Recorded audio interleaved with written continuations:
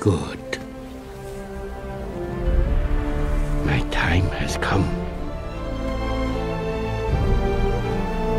You must believe. Master!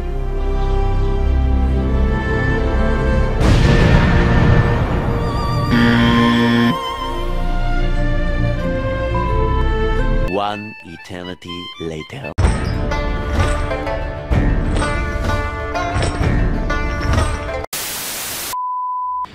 Alright, good day one and all. I'm coming to you live from the Tiny Whoop training grounds and today we have something very special. Today we're going to check out the new Beta FPV 5-in-1 flight controller.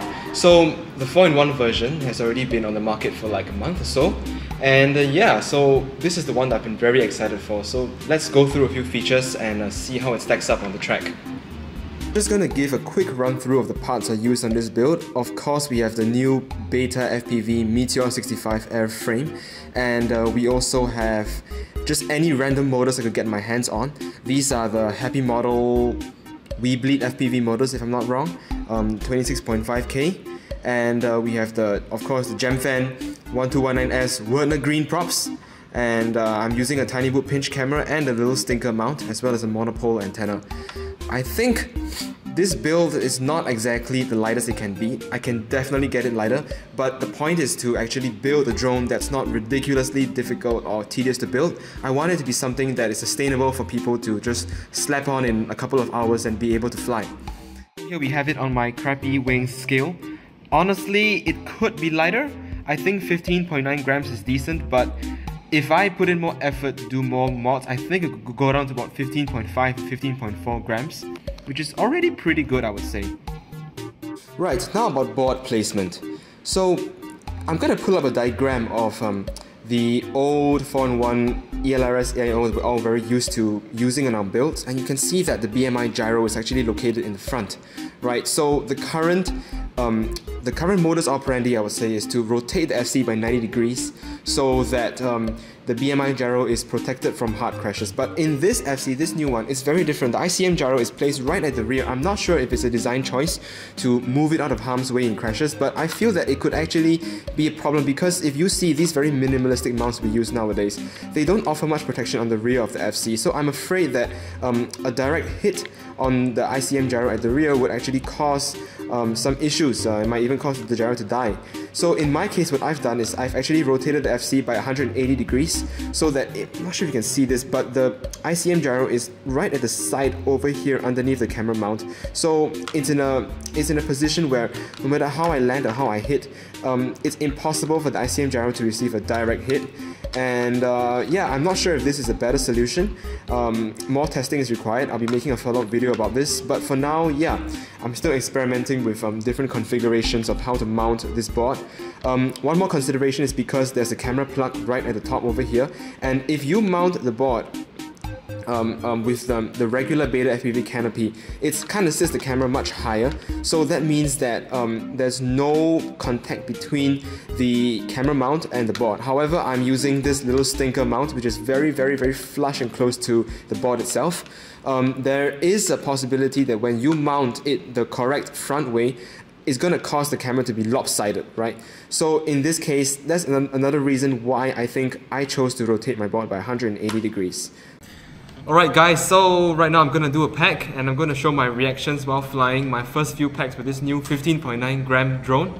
Let's see how it goes.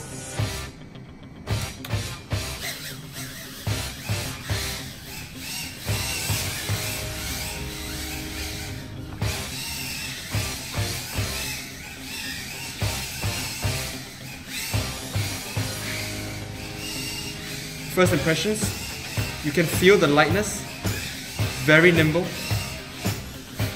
Definitely way more agile than my 16.8 gram build.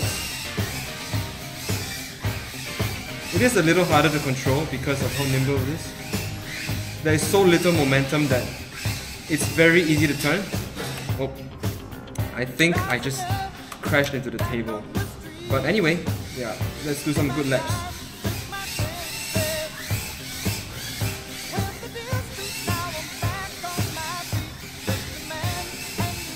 That was a good ladder.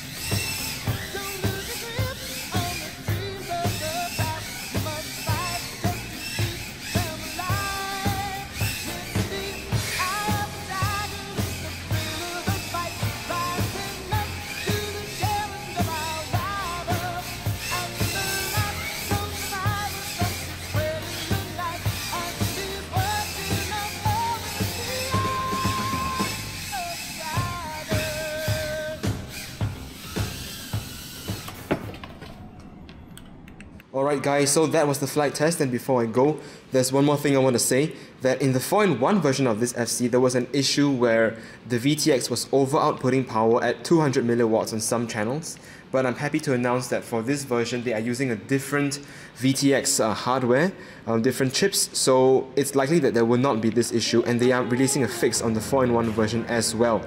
So I would say that within the next um, one month or few weeks, um, any FCs that you buy from Beta FPV should be race legal and race compliant, although I'm sure my friends like Custom FPV will be all too happy to test it on their um, Immersion RC Power ones. So yeah, I think um, that's all. I'm just, just gonna leave you guys with this information. Feel free to leave a like down and leave some comments with some uh, thoughts about this video and how can I just introduce these beta FPV products better in the future. Thanks for watching guys.